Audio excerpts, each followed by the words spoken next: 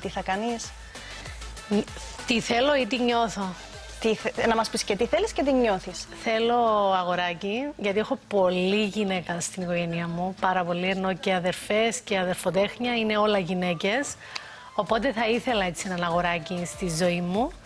Ε, αλλά νιώθω ότι είναι κοριτσάκι. Μιλώ και μιλάω σε θηλυκό για κάποιο λόγο.